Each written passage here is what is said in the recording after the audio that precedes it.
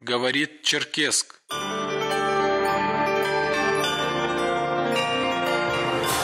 В эфире Вести, радио Карачаево-Черкесия.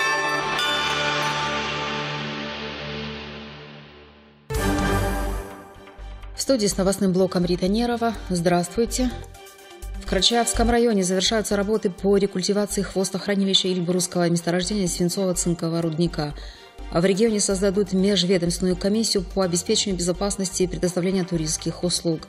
Хозяйство Карачаева-Черкесии завоевали 7 медалей на Всероссийской выставке племенных овец и коз. И на курорте Архыз открылись трассы для горного велосипеда. Далее подробно об этих и других событиях. В Пятигорске полномочный представитель президента России в Северокавказском федеральном округе Юрий Чайка и руководитель Федеральной службы по надзору в сфере защиты прав потребителей и благополучия человека Анна Попова провели совещание, посвященное вопросам санитарно-эпидемиологического благополучия жителей регионов СКФО. Карачаева-Черкесию представил руководитель региона Рашид Тимрезов – Участники мероприятия обсудили актуальные вопросы организации эпидемиологического надзора, а также реализацию профилактических и противоэпидемических мер на территории субъектов, входящих в Северокавказский федеральный округ. Во втором чтении парламентарии республики приняли актуальный законопроект о внесении изменений в закон Карачаева-Черкесии о порядке выпаса, содержания и прогона сельскохозяйственных животных на территории республики – Приняты меры для установления личности владельца животного при совершении ДТП с участием сельскохозяйственных животных, упорядочение процесса проведения вакцинации скота ветеринарными службами, что необходимо для пресечения возникновения неблагоприятной эпизоотической ситуации в республике, распространению на территории республики заболеваний животных, в том числе представляющих опасность для человека – Информацию комментирует председатель Комитета по аграрной политике Народного собрания Марат Хубиев. Эти поправки в конечном итоге они обеспечивают э, безопасность участников дорожного движения на территории республики. Эти поправки обеспечивают э, ветеринарную безопасность на территории Карачаево-Черкесской республики, а также эти поправки обеспечивают интересы э, собственников сельхозугодий. Рабочая группа во главе с премьер-министром Республики Муратом Аргуновым проинспектировала ход работ на стадионе «Нарт». В настоящее время на объекте завершены работы по реконструкции восточной трибуны, навеса, футбольного поля, беговых дорожек и спортплощадок. Сейчас ведутся работы на западной трибуне и административной пристройке. Работы по реконструкции административной пристройки планируется завершить в последних числах августа текущего года. В Карачаево-Черкесии создадут межведомственную комиссию по обеспечению безопасности и предоставлению туристских услуг. Сегодня на территории региона предоставляются разнообразные туристские услуги, в числе которых автомотоэкскурсии, проката автомобилей и самоходного транспорта, конный прокат, а также уличные аттракционы. А во избежание ситуаций, которые могут повлечь за собой угрозу безопасности жизни и здоровью туристов, следует предпринять все необходимые меры по устранению и предупреждению нарушений при предоставлении туристских услуг на территории республики, рассказал Расул Тикеев, министр туризма, курортов и молодежной политики Карачаева-Чекесии. Участники состоявшегося в Доме правительства заседания обсудили комплекс вопросов по соблюдению мер безопасности в процессе оказания конных экскурсионных услуг в соответствии с ветеринарно-санитарными правилами содержания животных, прокату и эксплуатации квадроциклов, оказанию экскурсионных услуг на автомобилях, то есть джипинг, организации туристских сплавов, а также эксплуатация аттракционов, расположенных на туристских территориях. Министерство промышленности, энергетики и транспорта Республики окажет финансовую помощь промышленным предприятиям региона. Это будет своего рода компенсация на уплату процентов по кредитам, взятым после 20 апреля на пополнение оборотных э, средств и потраченных на закупку сырья, топлива незавершенное строительство, готовую, но нереализованную продукцию. При этом общий размер кредитных обязательств не должен превышать 250 миллионов рублей. Получить эту безвозмездную грантовую помощь могут только те предприятия, что зарегистрированы на территории Карачаева-Черкесии, более двух лет имеют статус юридического лица, а их основной вид деятельности должен лежать в обрабатывающем производстве за исключением предприятий по производству пищевых продуктов и напитков рассказывает заместитель министра промышленности, энергетики и транспорта Республики Юмрана Тиунаева. Мы понимали, что есть какие-то непредвиденные затраты у предприятий. И, возможно, даже что-то они взяли из тех средств, которые они планировали пустить в оборот, вот в оборотные средства на закупку сырья, возможно, они направили на то, чтобы закрыть обязательства, например, по договору, где уже, например, эти обязательства были увеличены в силу увеличения ключевой ставки. И это пошло, возможно, в ущерб, опять-таки, средствам, которые были изначально запланированы на закупку сырья. Мы как раз-таки вот этой грантовой поддержкой планируем компенсировать и поддержать предприятия. В рамках конкурса «Лучший учитель» четыре педагога смогут получить по 200 тысяч рублей. Преподавателей будут оценивать по их достижениям. Участвовать в конкурсе могут учителя со стажем не менее трех лет и имеющие нагрузку не менее 18 часов в неделю. Подробности у министра образования и науки региона Инны Кравченко. Республика принимает участие в данном проекте. Это премия на присуждение лучшим учителям за педагогические достижения в размере 200 тысяч рублей. В этом году у нас будет 4 победителя. В настоящее время у нас ведется прием заявок и необходимых документов для участия в данном конкурсе. После того, как прием будет завершен, будет работать отборочная комиссия и после будут уже объявлены результаты. Участвовать в конкурсе могут все педагогические педагогические работники, стаж которых в образовательных организациях не менее трех лет. Имеется нагрузка не менее 18 часов в неделю, то есть это ставка у педагогических работников. И есть определенные достижения как в учебной, так и во внеурочной деятельности. Хозяйство Карачаева-Чекиси завоевали семь медалей на Всероссийской выставке племенных овец и коз. Всего в работе выставки принимали участие 17 регионов страны, которые представили лучших племенных животных российской и зарубежной селекции.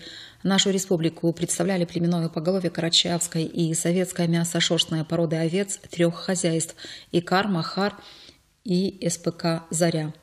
В различных номинациях выставочные животные завоевали семь медалей, а именно три золотые, три серебряные и одна бронзовая. Грамотой отмечено национальное подворье Карачая-Черкесии, где была представлена национальная одежда, декор и быт народов региона. В Карачаевском районе завершаются работы по рекультивации хвостохранилища Эльбрусского месторождения свинцово-цинкового рудника. Работы начались в прошлом году в рамках федерального проекта «Чистая страна» национального проекта «Экология». На сегодняшний день уже завершен технический этап работ.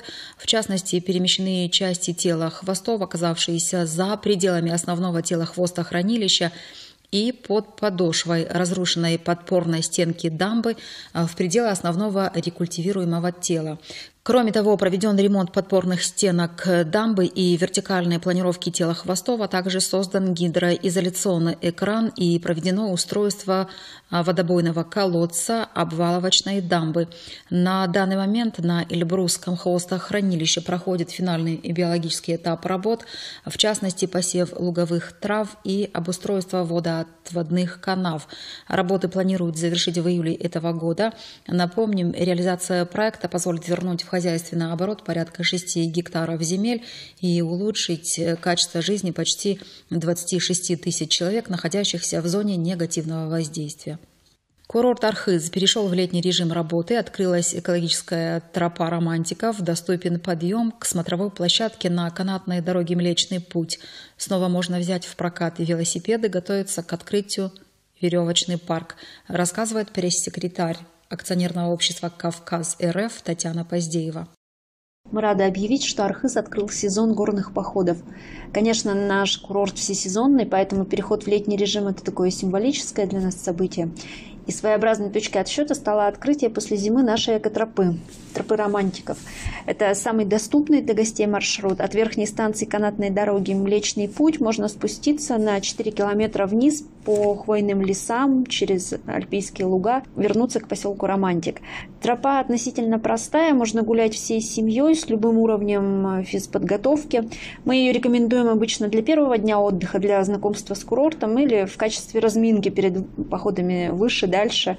Это такой пробник горных походов. Если понравилось, можно смело идти дальше к Софийским, к Дукинским озерам, к перевалу Федосеева и дальше. Всю экипировку основную можно взять в прокатах курорта, найти проводника. В общем, летние горы Архыза снова зовут, надо идти. И в продолжение этой темы на курорте Архыз открылись трассы для горного велосипеда. Райдерам доступны дистанции для скоростного спуска красного, синего и зеленого уровня сложности, как для опытных велосипедистов, так и для начинающих. В новом сезоне на курорте доступны почти 6,5 километров трасс для даунхилла, скоростного спуска – Красная трасса протяженностью более трех километров и перепадом высот более 560 метров стартует от верхней станции канатной дороги Млечный Путь с высоты 2240 метров. Более простые синие общие протяженностью более двух километров и зеленая трасса длиной 700 метров с перепадом 120 метров начинаются от верхней станции канатной дороги «Спутник». Зеленая трасса предназначена для получения первого опыта в маутинбайке и катания детей до 12 лет. Обучающие тренировки для взрослых и детей проводит школа горного велосипеда от официального партнера курорта Архыз компании Peak Experience. В их прокате можно взять в аренду горные велосипеды с защитной экипировкой, а также заказать занятия с инструктором, как индивидуальные, так и для групп до 10 человек. На базе Республиканской детской библиотеки имени Сергея Никулина прошла всероссийская акция «Библия ночь-2022». Для посетителей были организованы мастер-классы «Танец гор» по обучению движениям национальных танцев, «Чудеса народного искусства», где можно было освоить декоративную роспись на тарелках, изготовить закладки из фетра и забрать свои произведения с собой, а также мастер-класс по робототехнике и песочное шоу, где можно было научиться делать картины из песка. Участники «Библия ночи» также смогли отведать национальные блюда, познакомиться с обычаями, традициями и фольклором народов Карачаева-Черкесии. В Саранске, Мордовии, прошел чемпионат России по борьбе на поясах. По итогам упорных схваток наши спортсмены завоевали различные медали. Копилку награды Карачаева-Чекеси пополнили Ахмад Суйнубаев, Ислам Лайпанов, Шамиль Балачиев, Назим Бастанов, Азамат Татаркулов, Канамат Декушев, Расул Идиев и другие. В эти дни в Ростове-на-Дону прошел гран-при по правилам ММА, посвященный памяти героя России и ДНР Владимира Жоги и героя ДНР Арсена Павлова. Спортсмен из Карачаева-Чекесии Ислам Чагаров завоевал серебряную медаль в весовой категории 66 килограммов. Ну и последняя информация. Во Дворце спорта «Юбилейный Черкеска» состоялся фестиваль ГТО «Путь к успеху» среди студентов республиканских высших учебных заведений, приуроченный к столетию образования Карачаева-Черкесии. В состязаниях принимали участие более ста человек. Это студенты вузов республиканской столицы и Карачаевска – Ребята выполняли такие нормативы, как бег, подтягивание, отжимания, прыжки, наклон вперед и из положения стоя с прямыми ногами на гимнастической скамье, поднимание туловища из положения лежа на спине, метание спортивного снаряда и другие. Показавшие лучшие результаты примут участие во всероссийских играх ГТО среди вузов всей страны, которые состоятся в Грозном. Радио России, Карачаево-Черкесия, погода.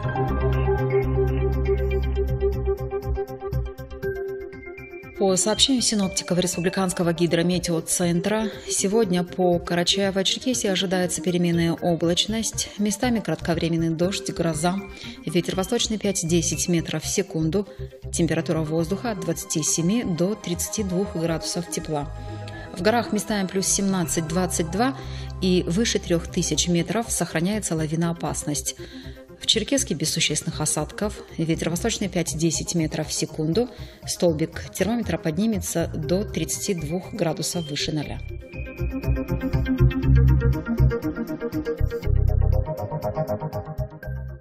Таковы некоторые события республики. Информационный выпуск провела Рита Нерова.